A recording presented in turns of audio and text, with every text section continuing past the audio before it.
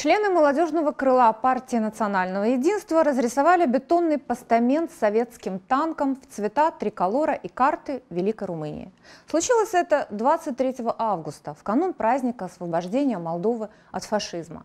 Из примечательного можно отметить, что впервые всем стали известны личности исполнителей этого художества. И оттого здесь, в этой студии, прозвучали слова надежды. Надежды на то, что виновные будут уголовно наказаны.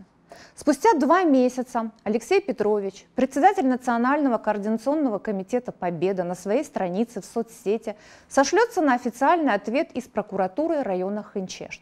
В нем прокурор не нашел признаков преступления, а значит нет и оснований для возбуждения уголовного дела. Насколько это решение обосновано, давайте разбираться вместе. Вы смотрите «Полюс». Здравствуйте.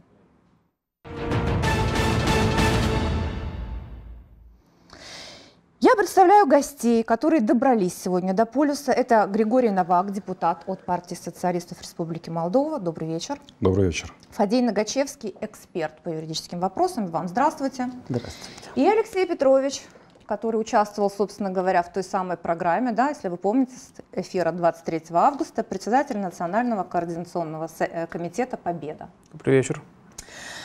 Ну, э, вот то, что мы видели, да, мы видели скриншот с этого решения, мы вот по этому поводу пытаемся как бы сейчас что-то понять и осмыслить, и давайте тогда вот буквально по тем моментам, э, по тем, я не знаю, аспектам, которые приводятся в качестве основания этого решения. Ну вот так вот, начинаем сначала. Само окрашивание памятника, по мнению прокурора Хинчешт, не считается преступным, так как, внимание, существует возможность ее последующего стирания – вот как вам такое пояснение? То есть вот человек, раз можно вытереть то, что э, там на этом памятнике изобразили, то это не считается никаким э, э преступлением. Объясните, пожалуйста. Господин Ногачевский, давайте с вас начнем. Ну, давайте...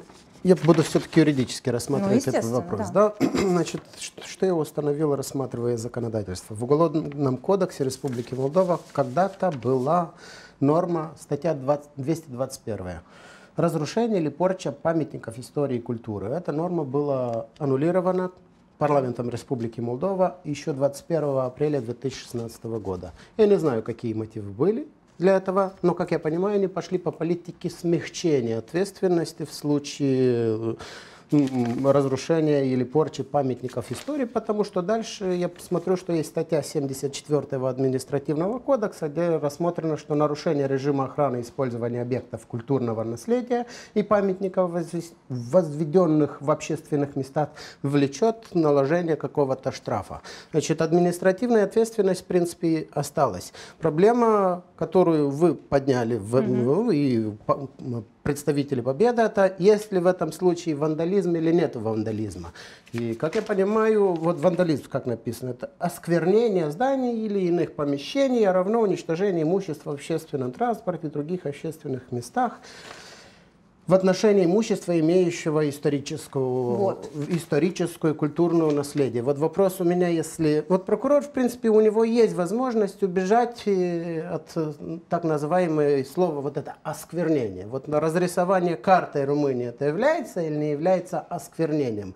И он проинтерпретировал, в принципе, что в данном случае нет осквернения. Я не знаю, прав он или не прав, но в принципе все равно тут ответственность есть. Еще раз говорю, это как минимум административная ответственность, и за это ответственно на основании административного кодекса, как ее там называется, агентство по инспектированию реставрации памятников. Вот у меня вопрос первый, что делает агентство в данном случае, почему оно молчит?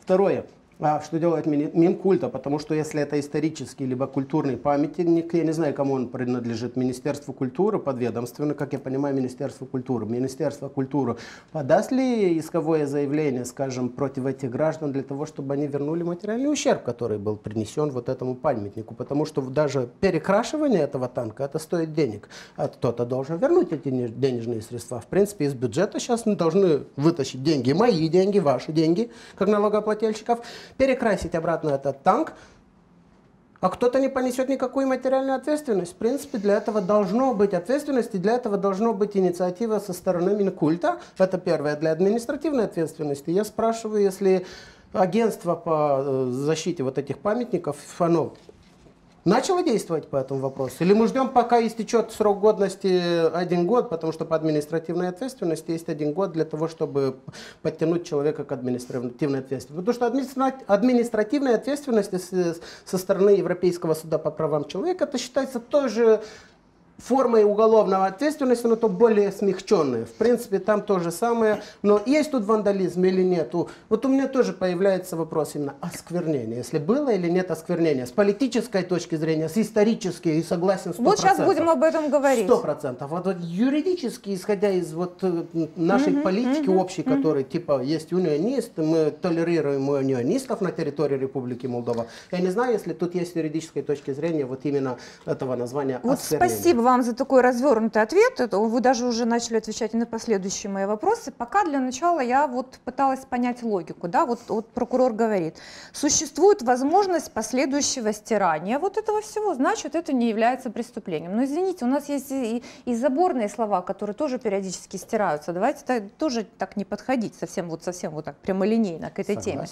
Э, что вы думаете, господин Петрович, вот по этим аргументам? 20 3 августа, находясь в этой студии, э, я, вы помните, сказал вам, что я не знаю, как закончится вся эта история. Найдут ли виновных, накажут ли виновных. Но я мог сказать уверенно только то, что танк мы покрасим обратно, и он будет приведен в должный да, вид. Так и сказали. Я... Да. Э, мы не кричали об этом громко, мы вдвоем, я и мой товарищ, поехали и танк привели обратно в порядок. Э, мы его покрасили обратно, мы убрали 10 мешков мусора с территории сегодня он находится в должном виде, как и должно быть. Э, я хотел бы дополнить э, господина Нагачевского. Дело в том, что у нас сегодня в Республике Молдова ответственными за воинские памятники и захоронения с минувшего года, с момента вступления в силу закона номер 161 о режиме воинских памятников и захоронений является Министерство обороны. И специально созданное в рамках Министерства обороны так называемое Национальное агентство военной памяти. Так оно переведено на русский язык. Ни одного комментария пока мы от них не получили. И эта организация должна сегодня заниматься со стороны государства защитой воинских памятников и захоронений. На сегодняшний день э, мемориальный комплекс «Виктория» в Ханчерском районе э, находится в реестре памятников э, истории культуры Министерства культуры. Он является памятником. Э, что касается осквернения, э, там есть могила неизвестного солдата, э, который погиб в 1941 году. Э, и, опять же, возвращаясь к закону номер 161, там есть конкретная статья, которая говорит о том, что не любое неавторизованное вмешательство, нанесение каких-то там символов, цветов, красок в памятник э, военно-мемориального наследия запрещено без согласования и влечет за собой административную, уголовную, гражданско-правовую и иные виды ответственности. Это есть, это норма действующая. Но только сегодня необходимо все-таки э, убедить органы прокуратуры прочитать действующее законодательство, ну ознакомиться вот с ним и все-таки принять его к сведению и наказать виновных. Я поняла. Господин Новак, вы как видите? Ну, я э, сразу, сразу, сразу что вспомнил, вот э, господин Петрович сказал о законе номер 161, который, по сути, Минобороны должна следить, ухаживать, привести соответствующий э, порядок э, на этих э, мемориалах.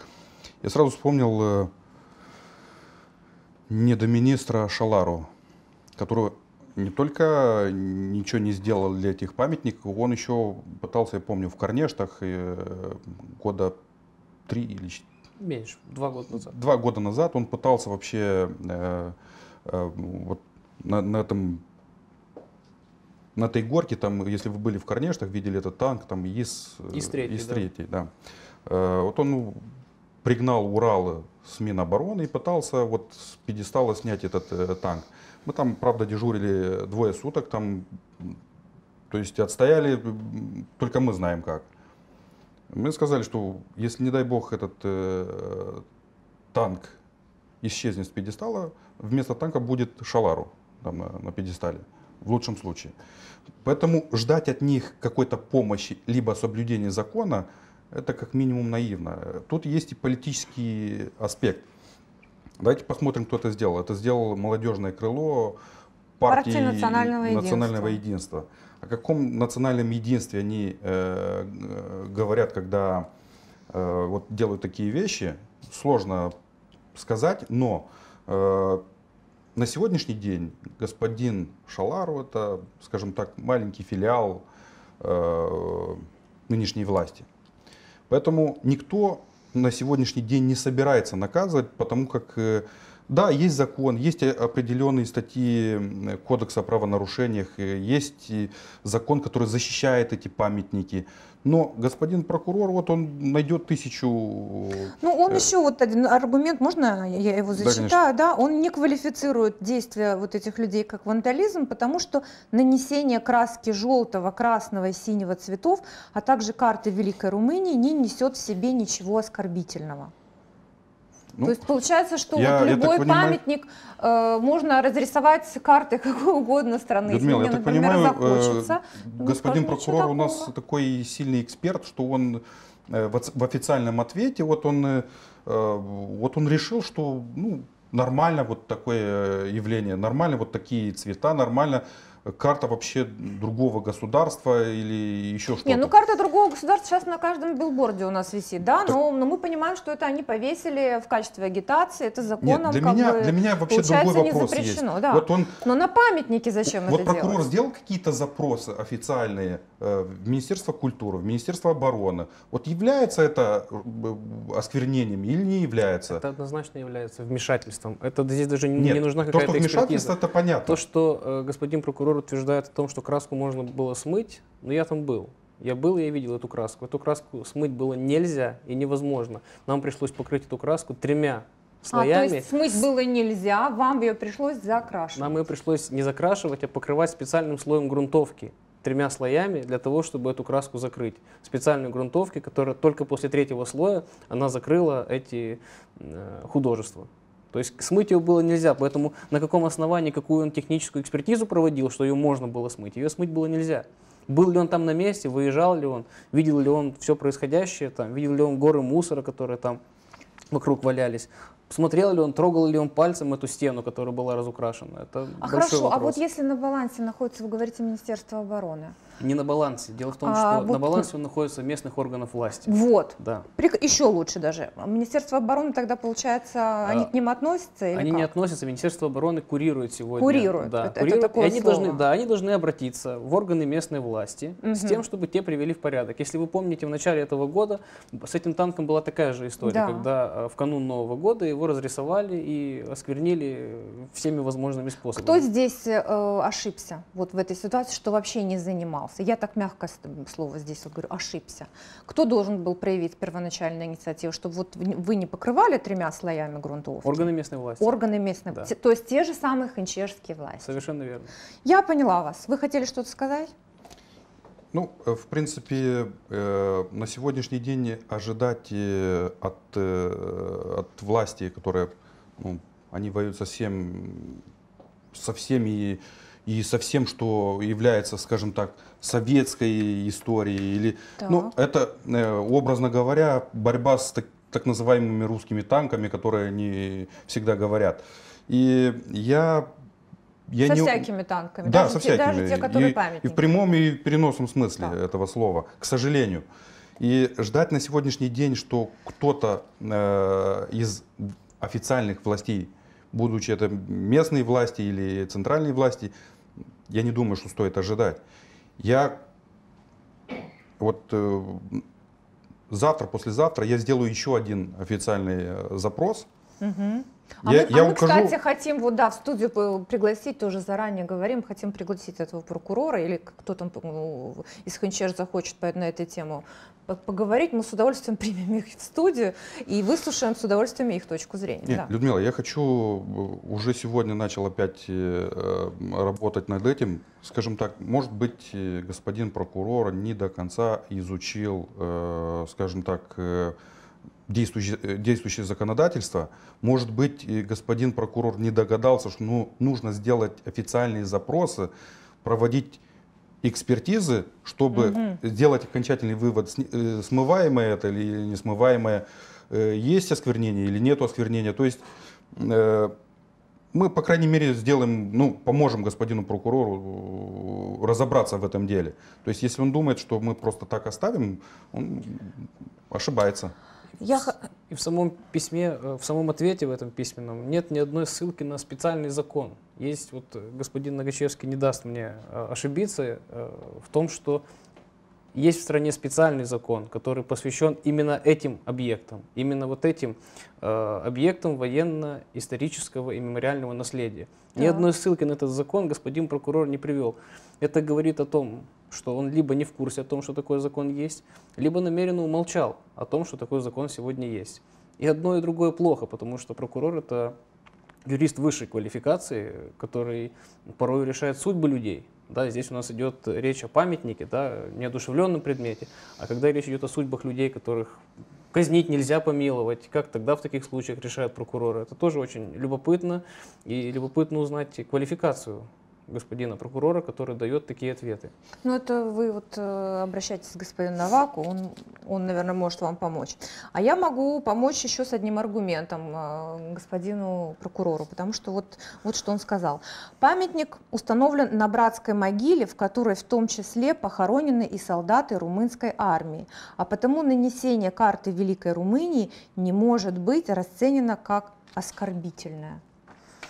Ну, здесь никакой, знание истории, по-моему. Никакой братской могилы там нет. Ближайшее да. воинское захоронение находится в селе э, Немцены и в, э, в селе Онешты. Там воинские захоронения советских солдат и офицеров, погибших как в 41 так и в 44 годах. Это первое. Второе... То есть, то есть получается, что прокурор не знал, что это не братская могила, так? Вот да. Просто, вот, ну, если а просто людям Проще объяснить. простого. Открываешь э, сайт Министерства культуры, там есть реестр памятников, охраняемых mm-hmm. государством. Открываешь, смотришь село Леушены. И тебе выдает, что в Леушенах считается памятником истории культуры. Там есть указан мемориал э, воинской славы, э, о котором мы сегодня говорим. Там сказано, что это за объект, в каком году он возведен, и вся-вся-вся информация о нем необходимая есть. Он охраняется государством государством. Там прямо в документе сказано, там стоит подпись, печать, там голосовали наши уважаемые парламентарии за это. И почему он сегодня государством не охраняется, как следует из ответа господина прокурора, не совсем понятно. А, что касается, э, в общем-то, э, того, что допустимо этот флаг рисовать, э, даже если бы оно гипотетически могло быть так, королевская Румыния воевала против Красной Армии до 20 3 августа 1944 года. года да. Она принимала участие э, в боях, начиная с 22 июня 1941 года. Три года э, проводила здесь режим оккупации, принимала участие в военных преступлениях, за которые была потом судима в 1946 году, э, в 1947 году на Кишиневском процессе. И принимала участие в таких страшных вещах, как Холокост. И об этом нельзя забывать. Э, какие воинские преступления совершали солдаты румынской армии на нашей территории, на территории оккупированной Украины, на территории э, южных областей Российской Федерации. Об этом там сегодня прекрасно помнят. И очень обидно, что об этом пытаются забыть у нас. Господин Нагачевский, вот как юрист, вот, э, он сослался на то, что это была карта Великой Румынии. Да, вот, э, Скажите, пожалуйста, а вот если бы э, эти люди взяли, нарисовали карту ну, другого государства, ну пусть бы они нарисовали, я не знаю, карту, ну, ну пусть, ну, Швейцария, например, это будет считаться Э, административным правонарушением. Ну, то, что вот на самом памятнике ну, кто-то берет и что-то рисует. То, что это является нарушением административным, любое пачкание, замазывание, это является как минимум административное правонарушение. Мы сейчас разговар разговариваем ну, по поводу вандализма. Да. Он, он, в принципе, сказал, что вандализма нету из-за того, что нету осквернения, потому что не было там, извините за выражение, фалус какой-то нарисован или, не знаю, какой-то грязный, что-то что-то законное, в принципе. И он не сказал, что нету нарушений, он просто сказал, что тут нету состава вандализма, в принципе.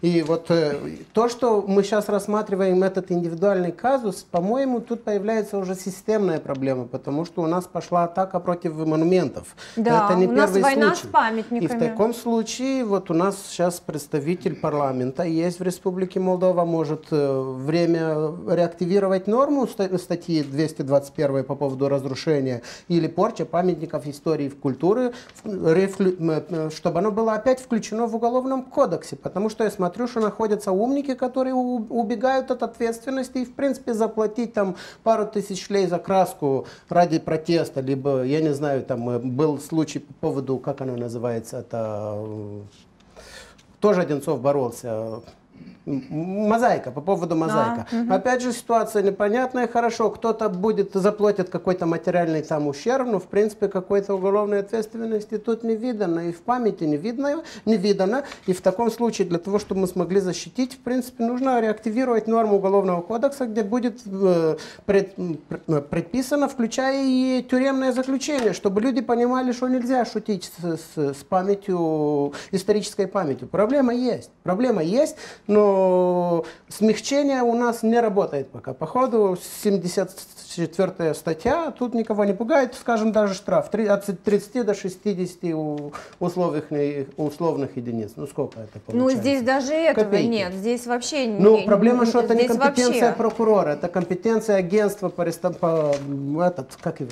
Агентство по И он защите... Штефаницы там ответственен угу, за, угу, за угу. эту систему. И в принципе тут проблема, прокурор должен был в принципе рассматривать. Может быть он должен был подать запрос к Иону Штефанице, чтобы он рассмотрел с административной точки ну зрения. Вот. Второй вопрос, а нужно было ли он подать в Академии Штиинц запрос по поводу того, чтобы установила, там мы есть захоронены румынские это, солдаты или да нет? Вот говорят, вот. что не надо подавать этот запрос. Тут нужно а второй вопрос, есть ли осквернение? Но я не знаю, к какому органу нужно обратиться для того, чтобы тебе сказали, что нет осквернения. Потому что, в принципе, по-моему, тут именно прокурор должен констатировать и квалифицировать. Я, как с юридической точки зрения, мне очень ну, сложно ну, сказать, что тут именно вот это название осквернения нарушения есть обязательно. И вот это, по-моему, вот этот случай нужно рассматривать для того, чтобы реактивировать и уголовную ответственность за осквернение вот этих монументов. Это было бы круто, и это бы решило серьезные вопросы. Поставить до 7 лет ответственности никто больше никогда не будет красить вот эти А вы так говорите, как будто это так просто вот в парламенте, э, да, вот возьмут эти правящая а коалиция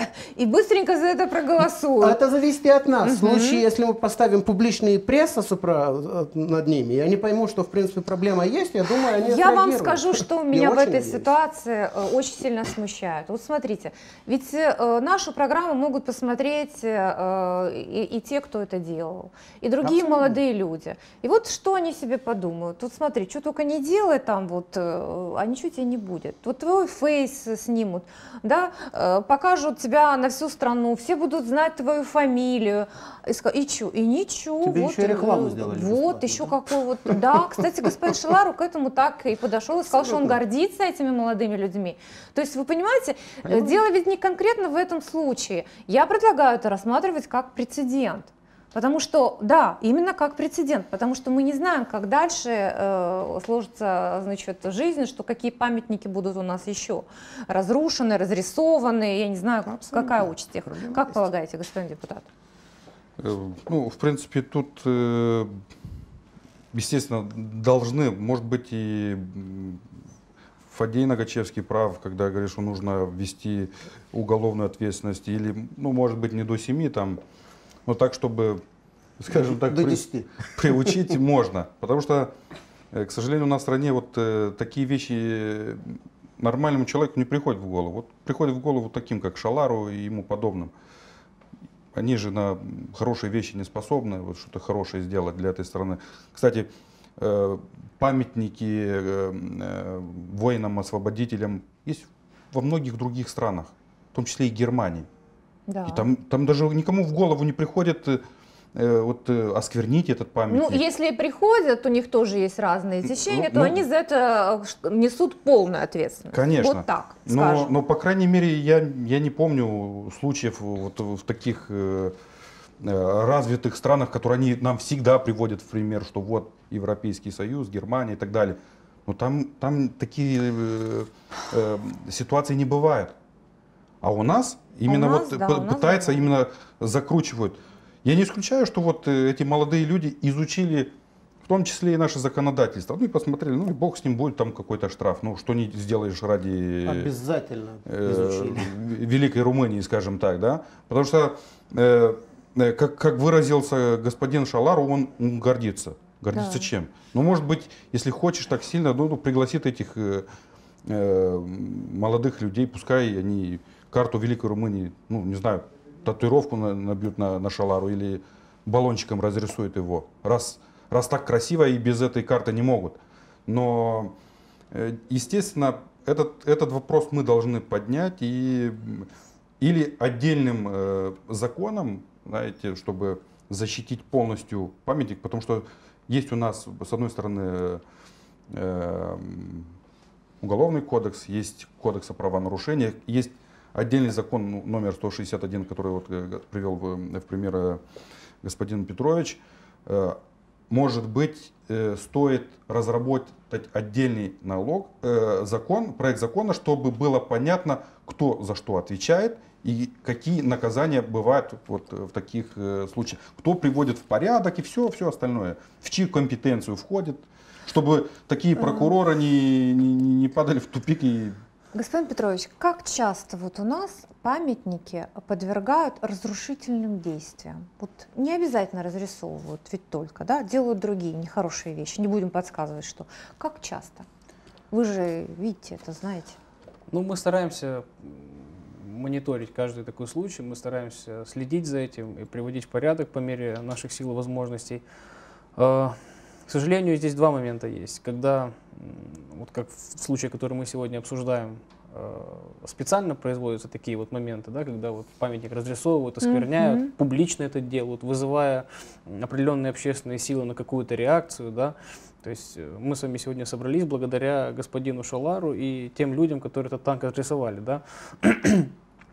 Я все-таки думаю, что мы собрались вопреки. Ну да. Я, я, я вот тонкий вопреки, нюанс да, такой, да. да.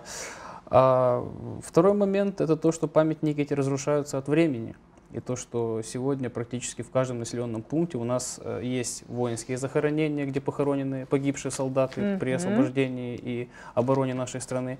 А в каждом селе есть памятник односельчанам, которые ушли на фронт. Люди, которые в этом селе жили, которые оставили свои семьи и которые погибли на полях большей частью Европы.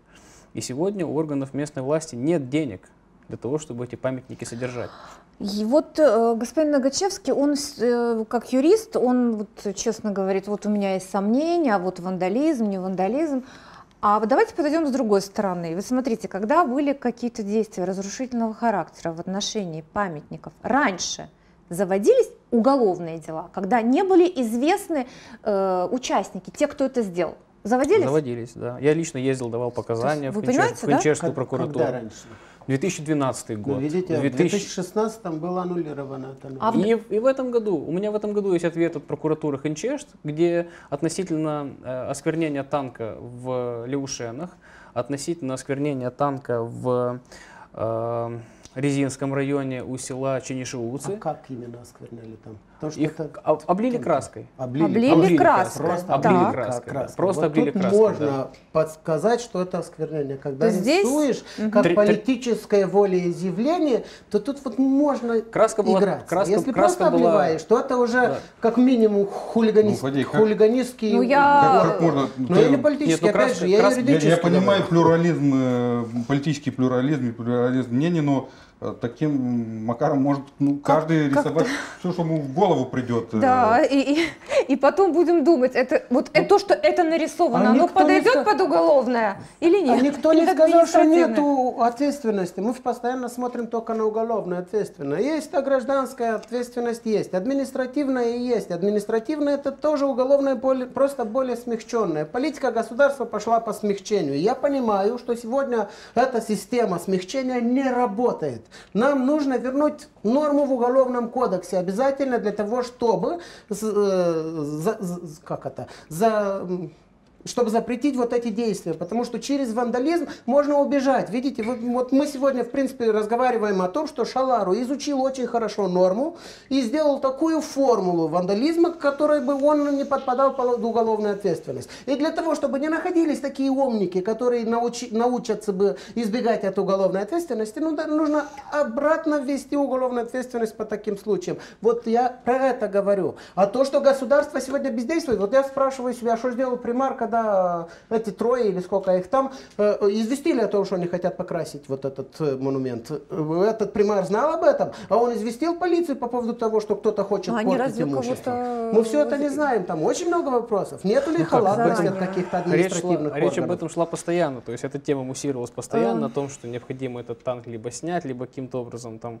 что-то сделать, но э, любопытно то, что господин прокурор, которого мы сегодня весь вечер обсуждаем, он своим ответом подставил и своих коллег, которые предыдущие разы ровно в таких же случаях заводили уголовные дела. За карту же? За не за карту, за облитие памятника ну, вы краской. говорите про именно облитие, не, не, не, а тут он а, посмотрел, а чем, что а в чем, А в чем разница? Здесь он говорит о том, что краску можно смыть.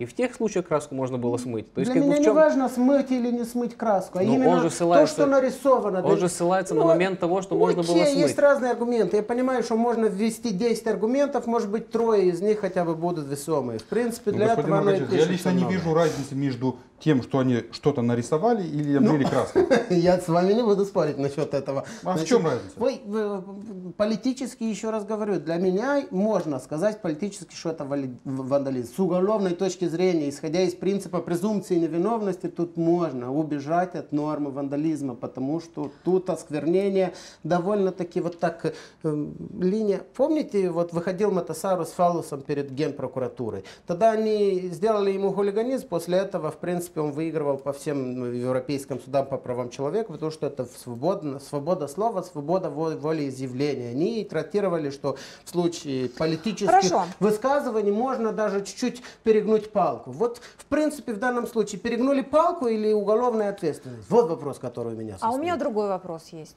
не менее важно, чем ваш. Вот то, что э, появилось, да, реакция от прокурора, его мнение мы все прочли. Э, это можно квалифицировать как, э, я не знаю, непрофессионализм или все-таки в этом есть и политика. И поэтому вот отношение к карте Великой Румынии здесь несколько другое. Вот объясните мне, пожалуйста. Это политика. Это политика. Обязательно. То есть вы, вы сейчас понимаете, что мы сейчас говорим? Мы Людмила. говорим, что прокурор и получается политическое решение. А, Я а, и а, вас давайте, слушаю. Да, если если и привести хороший слушаю, пример, да. вот, вот представьте, что эти трое молодых людей идут и рисует ту же карту на здании офиса Демократической партии. Вот увидите ту же самую, в таких же размерах, в таких же цветах. Ну, побьет их. Вот увидите, в лучшем случае побьет. Вот увидите результат, и будет, и найдут, и статью, и все что угодно найдут. Тут, тут э, конкретно они не хотят наказать, э, скажем так, политического партнера Демпартии, поэтому вот и находят э, самые глупые такие то есть все-таки в этом ответ. решении больше политики. Конечно. Господин э, Петрович. Ну, я Вообще ни, никак не наказать, э, не наказывать за, за вот э, Тогда не, вот зачем мы Ладно, уголовно, даже, все даже статьи, административные наказали. всяких кодексов, да, все это упоминаем, страдаем и мучаемся, если все обосновывается политически. Я Вы согласны? Поли, я не политик, я... Только не, учусь. Не, да, да, нет, нет, нет, я не, не учусь и, и не планирую, но я хочу сказать, как рядовой гражданин, э, я знаю то, что, в общем-то, видели и знают все. Все вы прекрасно помните о том, что в нашей стране 7 э, апреля 2009 года разгромили два важнейших здания в республике. Над главным государственным зданием страны подняли иностранный флаг. Э, Все то, что сделали внутри с этими зданиями, тоже всем прекрасно известно ни одного на сегодняшний день наказанного, привлеченного к ответственности, я не знаю. Я знаю... Не, почему? Полицейские были. Ну, полицейские, да. да. Я знаю, но зато я знаю несколько случаев, когда э, молодым людям, которые участвовали в этих, угу. в общем-то, действиях, выплачивали довольно солидные суммы в качестве компенсации за нанесенные телесные повреждения в ходе того, как их пытались оттуда эвакуировать с площади. То есть вы, вы сейчас тому говорите, что уж там был вандализм просто явный, явный, явный, приявный, и такой результат, а вы хотите, чтобы па памятник верно. ну, к этому, слово, да? Слово «безнаказанность», оно, э, начиная с 7 апреля 2009 года, прочно вышло э, в обиход э, наш современный нашего современного молдавского государства, и сегодня слово «безнаказанность» оно практически на каждом шагу. И я просто напомнил, пожалуй, самый яркий пример нашей новейшей истории. Благодарю вас. Господин Новак, вы как можете это прокомментировать? Ну, естественно, вот я не могу не согласиться с господином Петровичем. Ну, у нас э, в стране происходили более, скажем так, э, масштабные, масштабные да. трагические э, ситуации для символов нашего государства. Я лично не раз э, приводил и делал практически работу для, э, всю работу для, для прокуроров. И этому есть пример. Когда вырезали герб, наш официальный да, герб, герб нашей с, страны, с, нашей страны с флага, с флага вырезали, угу.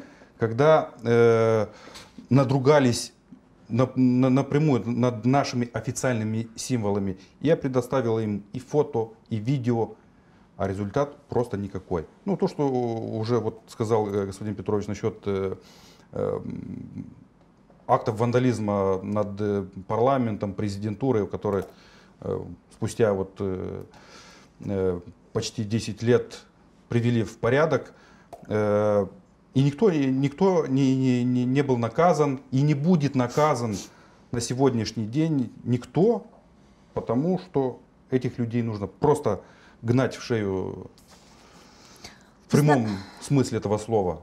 Ну, э, вы знаете, то, что все время мы подчеркиваем, что никто не хочет, кроме вот этих людей, я вообще считаю их героями, потому что они сами э, и без финансирования, просто по собственному желанию. Вот они встают, они что-то делают, и всегда говорю вам за это спасибо. Знаете, э, то, что государство не заботится о памятниках, знаете, есть такое понятие буква закона, дух закона. А вот нельзя ли назвать духовным вандализмом то, что вот со стороны государства? Я так скажу, такую формулировку. То, что происходит по отношению к нашим памятникам культуры, не только советским, я обращаю здесь внимание, да, у нас в, в паршивом состоянии не только э, значит, советские памятники, вот они этим просто-напросто не занимаются. Так можно назвать? Так, это, так будет правильно, господин Многочевский? Значит, что я вижу, в принципе, последние года, потому что я уже не юридически буду отвечать, а именно политическо-юридически. За последние года я вижу системную попытку разрушения памятников советской власти. В принципе, ну, есть... Это в первую голову, это как говорят. Это системно, в принципе, заводится. Да. Я понимаю, что эта политика не из, не из Республики Молдова, а извне кто-то заставляет нас использовать эту систему, потому что, скажем, первое, это было атака на язык, да, в принципе, на Конституцию, когда нам язык румынский заставили через горло, засунули именно через это решение Конституционного суда. Дальше пошло вот это, аннулирование нормы Уголовного кодекса. На основании чего политики решили, что нужно убирать э, данную норму? Если только не для того, чтобы фаворизировать кого-то, кто хочет дальше, в принципе, ликвидировать какие-то памятники. Потому что исторический памятник, э, если ликвидируешь, то это уже больно. А если нет уголовной ответственности, то тогда можно идти по такой. Вот прикиньте, завтра собирается какая-то политическая власть и начинает вытягивать этот танк с постамента. Вот и у меня спрашивается, опять же, это вандализм Мы на Украине много чего видели, Я да? про это и говорю. Да. Вот это политики, в принципе, не только в Республике Молдова происходят. Это происходит и в многих, во многих странах постсоветского пространства. И для меня вот эта политика государства, это губительная, потому что они уничтожают память, и дальше они радикализируют в принципе, в принципе гражданское общество. Это неправильно. Не нужно сейчас делить на левых, правых, э, русских, молдавских, потому что если мы будем дальше так жить, в принципе из этой республики да ничего не оставится. И да эти монументы, ну не хочешь, чтобы он назывался монумент советской власти, да поменяй его название, но оставь его в покое, потому что mm, кто-то... Тут не всегда, ну я не, да. я не знаю, там в реестре, Авторский чтобы замысел, было. Да. Я, я понятия не имею, но люди идут и верят. Пока есть вот эти люди, которые еще живут, и ветераны, которые еще верят в, этим, э, в эти памятники. Я тоже в Санжиреях еду, там памятник, в принципе, практически у них уничтожен, свастики нарисованы. Вот это грязно. Я, я понимаю, что в принципе местная публичная власть ничего не делает для того, чтобы защищала вот эти памятники. Да, это сим просто делается. Поставил видеокамеру, которая стоит сколько? Копеечки, да? Да, и мы, мы, вот, говорили И, и мониторизируешь эту ситуацию. А нету интереса ни у кого. И в принципе вот этим мы уничтожаем свою нацию, которая вот 28 лет пытаемся стать на ноги, и вот этими политиками мы уничтожаем самих себя. А зачем им нужно? Я не знаю. Ради бизнеса. Кто-то платит ради, за эти проекты закона. Нам за это дают какие-то гранты. Да не дай бог, если за это дают гранты, и мы нагинаемся, уничтожаем свою память ради грантов, то тогда спасибо за такие гранты. Я не хочу такие гранты. Людмила, я, я буквально сегодня вечером э, до, до передачи написал на своем блоге маленькую статью в, в спешке. А, там очень, очень четко и, и, и и коротко. Вот господин Штефаницы, который я не видел никакой реакции господина Штефаницы насчет вот этого памятника в Левушенах. А где ты видел вообще? Но зато увидел на днях, что, видите ли, вот он возмущается, что установили э, памятник э, Штефану Чалмаре в, в Каприянах. Да? Я опять же не видел его реакции, как, когда сегодня сняли лепнину на э, бульваре Штефана Чалмаре, вот бульвар Штефана Чалмаре 124. Сняли эту лепнину, которую, ну, дом построили еще в 50-х годах.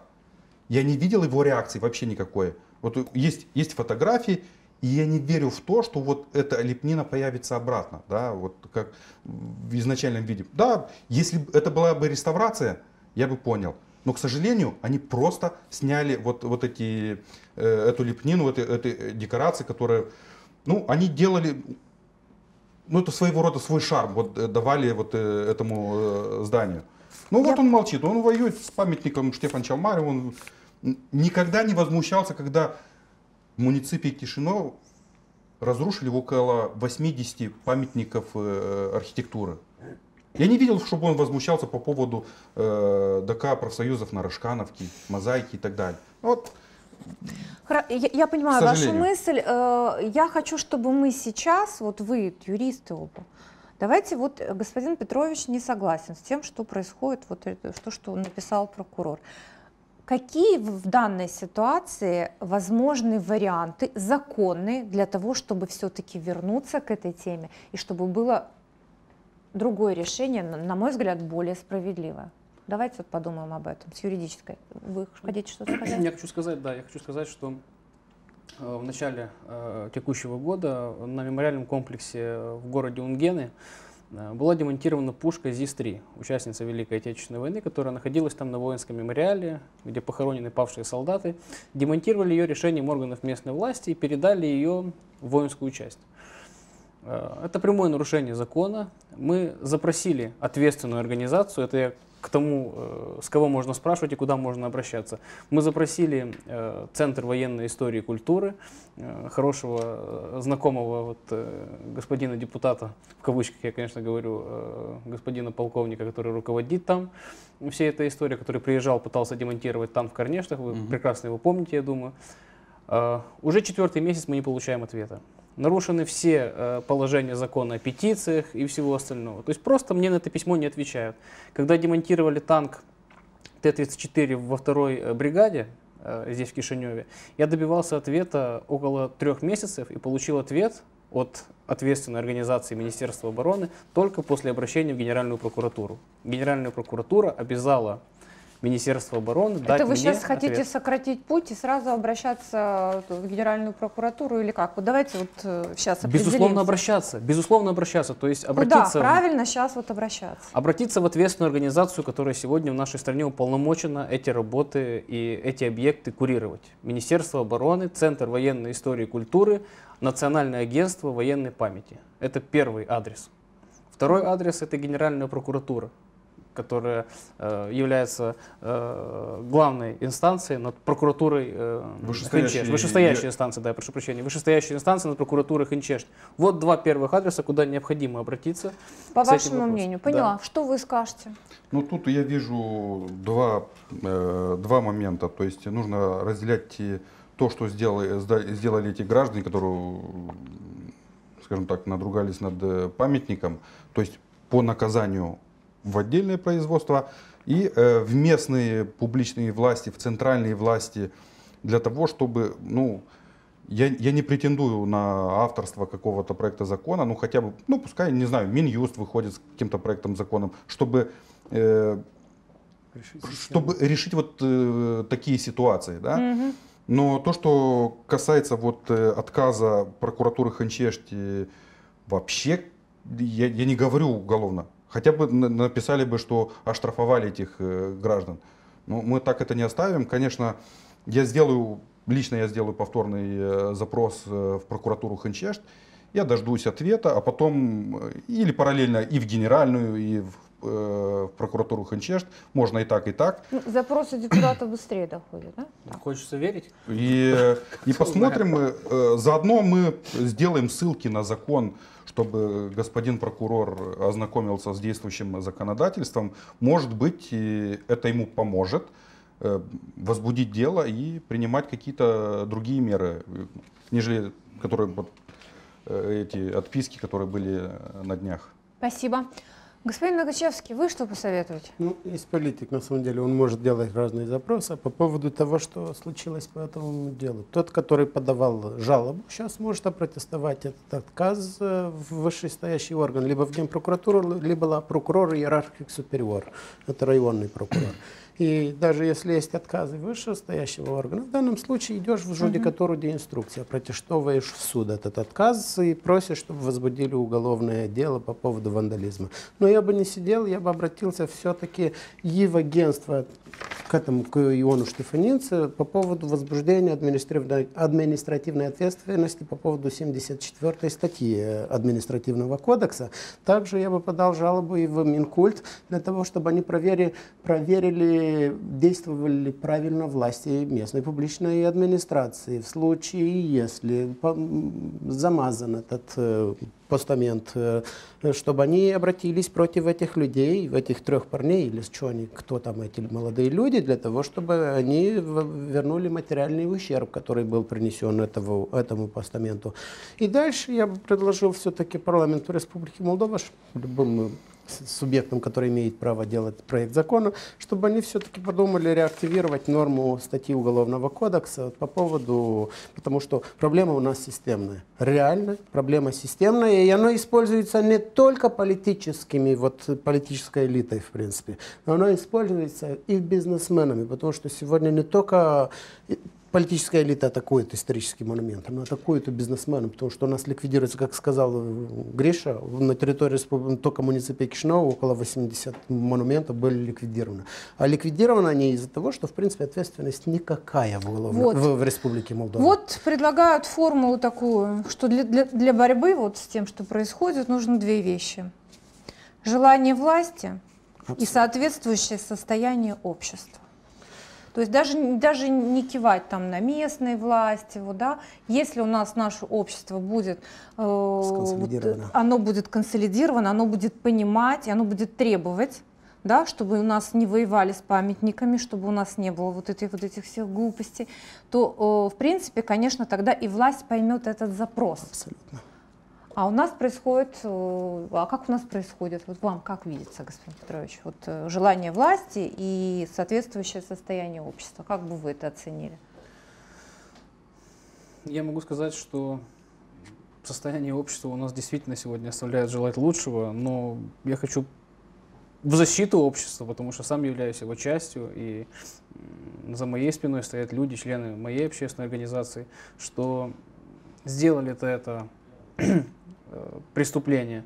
Люди не местные жители, не оттуда, люди пришлые, люди, которые приехали. И если мы возьмем все акты вандализма, которые происходили в нашей стране за последние 10 лет, это люди, которые приезжают нахально, наскоком, разбили, разбомбили и уехали. Пятно ложится на Откуда кого? Откуда приехали, куда уехали? У вас даже есть даже эти данные? Вы что-то хотите конкретное сказать? Но они же э, дают интервью на различных сайтах, они рассказывают о том, во имя чего они это делают. Правда, впервые это первый случай, когда это было сделано публично. И вот, пожалуйста, результат. Они сделали это публично, и им за это ничего не было. Раньше они как скрывали свои лица, скрывались на, на условиях анонимности, давали интервью, а сейчас они не боятся уже ничего. То есть для них слово безнаказанность стало их любимым словом. А пятно-то ложится на кого? На жителей того или иного села. Сегодня мы говорим о том, что жители, к примеру, села Леушены относятся безразлично к памяти советских воинов, погибших при освобождении села и района. Хотя это может быть далеко не так, потому что не они это сделали. Где эти люди живут, где они прописаны, откуда они приехали сюда, чтобы этот памятник разрисовать. Поэтому и мы, работая э, в регионах, работая в наших селах, городах, люди большей частью относятся положительно и позитивно. И понимают о том, что такая память нужна. Мы буквально недавно закончили э, восстановительные работы на могиле Героя Советского Союза, уроженца нашей страны Михаила Плугарева. Мы пока работали на кладбище, это был воскресный день, люди, которые приходили на кладбище, ни один человек не остался безучастным. Все до одного подошли, и сказали спасибо за то, что вы это делаете. Это очень нужно и очень важно. Поэтому э, то, что сегодня пытаются навязать сверху, пытаются разделить, пытаются сказать, эти памятники ваши, эти памятники наши, эти памятники нужны, эти памятники не нужны. Позвольте обществу решать самим, какие памятники нужны, какие не нужны. Давайте, если мы стремимся в Европу, давайте делать цивилизованно, давайте мы предоставим возможность выбора, референдума. В Европе улицу переименовывают, спрашивают разрешение. Хотите ли вы, чтобы улица так называлась или не хотите? Кто у нас спрашивал разрешение? Э, печальный случай приведу. Кривлянский район стоял памятник замечательный, погибший, в честь погибших односельчан, советский солдат с автоматом, который закрывал рукой девочку. Памятник ветшал, ветшал, ветшал, потом просто разрушился. Его демонтировала местная власть. Фамилии погибших перенесла к православному храму, который находится в селе, mm-hmm. а вместо памятника там сегодня находится другой монумент. Мы запросили Министерство культуры, Министерство культуры сказало, да, это законно, это можно делать. То есть, ну, нет денег его содержать, давайте его уберем. Удивительная вещь, да, вы говорите. Э, если можно, вы коротко, да, у нас уже мало времени остается, о состоянии общества нашего вот, и о желании власти. Как вы это все оцените? Ну, э, насчет э, состояния общества, в первую очередь, это, как по мне, политики это первые, которые вот, э, доводят общество до, до, до таких ситуаций, да, разными месседжами, разными ядовитыми э, историей, вот ядовитые истории, да, говорят, разные говорят, хотя мы прекрасно понимаем и видим, что э, самый, самый хороший референдум, которым может э, быть в нашей стране, то, что касается вот, э, э памятников э, воинам Великой Отечественной войны, 9 мая. Вот, вот когда люди выходят на 9 мая, вот тебе и референдум. Да? То есть люди годами э, чтили память, и это будет продолжаться все дальше. А вот такие миноритарные индивидуумы, как Шалару и ему подобные, ну, они могут только вот э, гавкать так э, со стороны и вот делать такие пакости, как э, в случае с э, э, 34-кой в Леушенах. Спасибо. Господин Нагачевский, вам слово. Ну, я... Вы кивали, когда я говорила я, я всегда, про состояние я власти. Я всегда помню про принцип э, эффекта бумеранга. Вот политики должны понимать, что в случае, если они толерируют какие-то элементы, принципе, во имя получения каких-то политических дивидендов, они должны понимать, в какой-то момент это может повернуться против, против них. них. Это угу. самое плохое. Они сегодня разделили общество, в принципе, на щепки.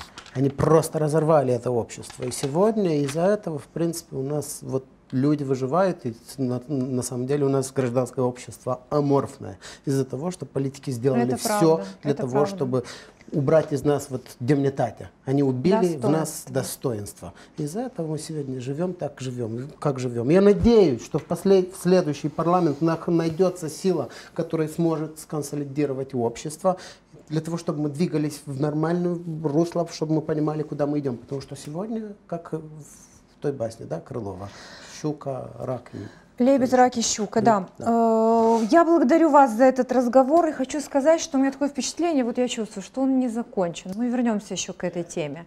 И э, действительно, я предлагаю право, да, вот есть законное право высказаться тем, кто захочет, из Хинчешт, из прокуратуры, из местных властей. Вот все, кто посчитает для себя необходимым сказать, как он видит разрешение этой ситуации, мы с удовольствием этих людей примем в эфире, и они выскажутся. Но просто действительно нужно не забывать главное, что это может стать прецедентом, и это может действительно тогда очень больно ударить по всем нам, без исключения. Спасибо, что пришли. Вы смотрели программу «Полюс». Я желаю вам всего самого доброго и доброго вечера.